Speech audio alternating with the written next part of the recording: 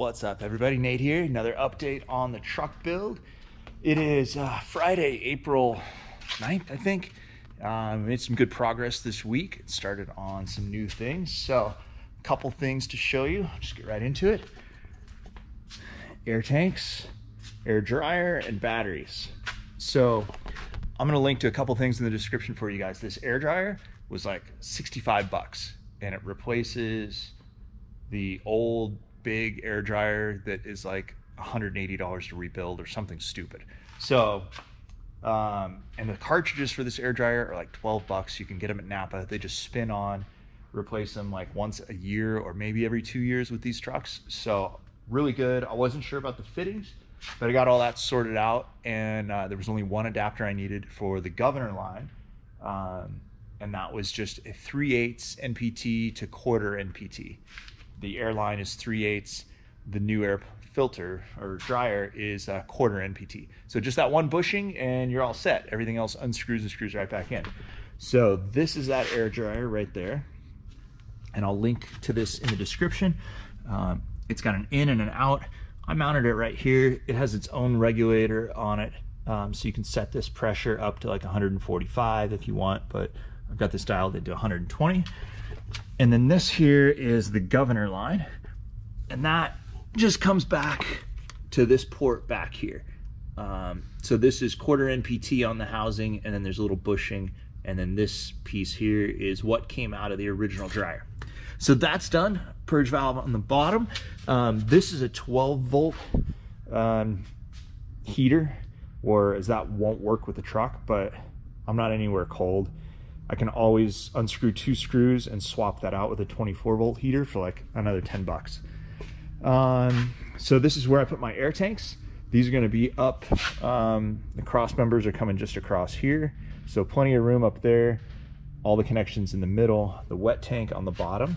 And then I've also got uh, my quick release fitting on this side where I'm going to run an air hose around over here somewhere and uh, have another quick disconnect so I can have air from the wet tank for running tools or anything.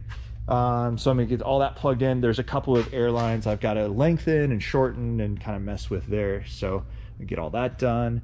Um, battery tray is just bolt on and hangs in. Um, these have keepers on the back. So there's plenty of room here for the back, for the battery to go out the back you know, and slide over without getting in the way of that uh, drive shaft there. So that is done. Um, I'm gonna show you the hydraulic pump and where I put that because that kind of turned out pretty cool and I learned a lot about hydraulics in the meantime. And that is over here. So here's my gas tank, front tire, rear tire, and hydraulic pump and tank are here. And again, I'll put a link to this in the description this whole pump and reservoir, it's a three quart reservoir, which is way more than what we need for this. Um, and I got a 12 volt pump just because it was like half the price. Um, this whole setup was like less than 200 bucks.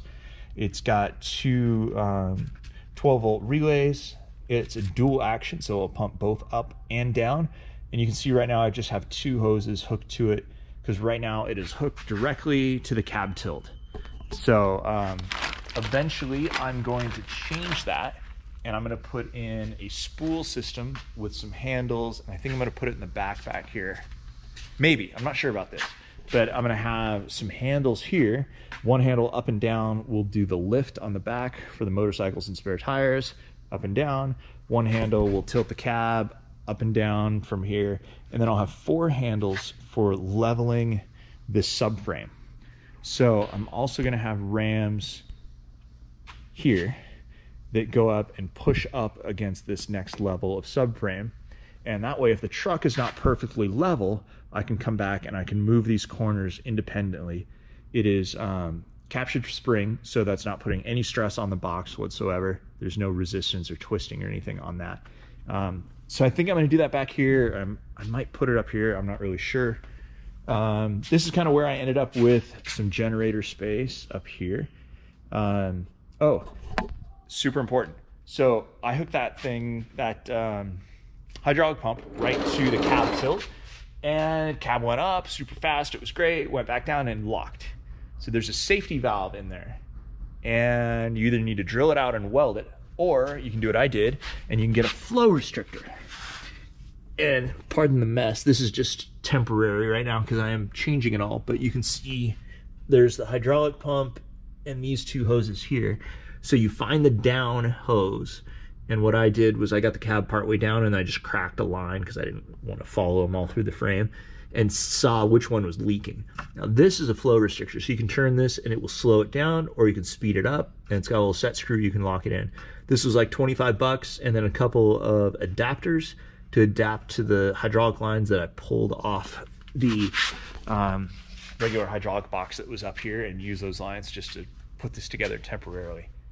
Um, so that keeps the cab coming down nice and slow and keeps that safety from engaging. Um, the other thing we did yesterday and today was I started on the roof rack. Um, can't really see it too well from down here and I will climb up in a moment and show you. But I have a crossbar there on the upper. Then on this corner, I'm gonna have an elbow with a bar that comes down and it follows this line here. So it's curved like this, comes in nice and close, and then it's gonna mount in here somewhere. Um, and I'm just gonna have an elbow return to a plate down here. Keep it nice and strong and sturdy. And it'll be uh, replaceable. So if I do hit something on that bar and bend it, it's gonna protect the windshield and the side windows. I can just unbolt that, slide that bar out, make another one, slide it in, bolt it back in, and be done. Also gonna do a crossbar up here so I can have some light tabs and also protect the windshield from anything else coming this direction. Um, same thing over here, obviously. And then on the top, I'm gonna have a roof AC mounted up there. So the top, it's gonna be hard to draw with my finger, it's gonna be set back just a little bit. I've seen a lot of guys where they take like the front and they push it out like that. And to me, that's just too big. It's just not my style. So these bars are gonna go up and kind of fade in a little bit, maybe a couple inches. And then I'm gonna have a step up section that's flat and then another step up section that goes back to the box. So I'll have a ladder on both sides. I'll Climb up the ladder and this section will open. I'll be able to stand and walk all the way across behind the AC. And Then I'll have two cubbies on each side of the AC for stuff and a surfboard rack in the back where I can put my surfboards.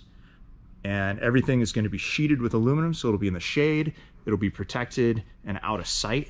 The bottom is going to be expanded metal and the back will be expanded metal. But it'll be a really nice, safe, secure storage spot for stuff that I want in the shade and out of people's like normal reach.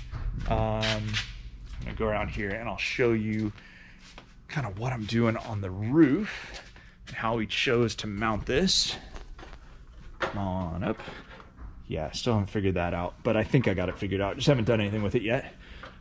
So here is the base of the roof rack. And what we did was just um, fish mouth some pipe to plate and we're gonna riv nut this in with some big heavy duty riv nuts and that'll keep it nice and tight and good. So there's that crossbar. The other piece will come off this and go down. Same on the other side. And then I extended this back. The front of the box is gonna be back here a little bit. So this just gives me some extra storage room. So when I come up on the ladder, this is temporary, it's tap, tacked in right now. Um, we're probably gonna move this up to the back of the air conditioner and then put some cross pieces in for walking on it. Because um, that'll be the main area that I'll be walking on is this kind of back half.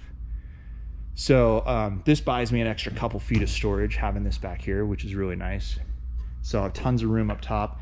Plus I'll have a fairing that will hopefully help with some of the aerodynamics and then on the sides, we're gonna flare it out to the box because my box is 102 wide, like the largest you can have legally in the US. Um, so it'll flare out to the box on both sides and kind of have a nice wind deflector setup. Um, other than that, that was kind of what we did this week.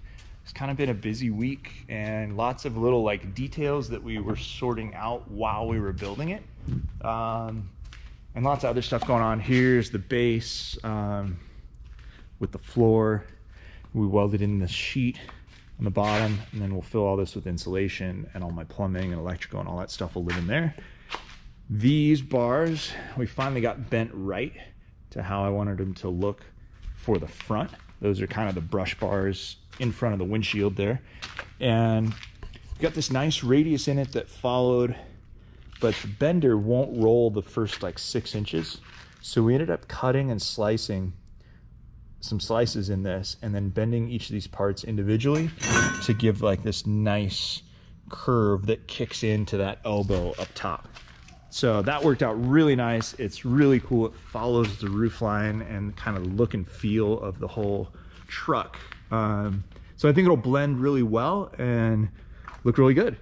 So that's about it. Um, got some more stuff to do, but it's the weekend. I take a couple days off and have some fun and get back to it next week. So thanks for watching. Subscribe if you haven't. I appreciate it. If you have any questions, let me know. And uh, look forward to seeing you next time. All right, guys, take it easy.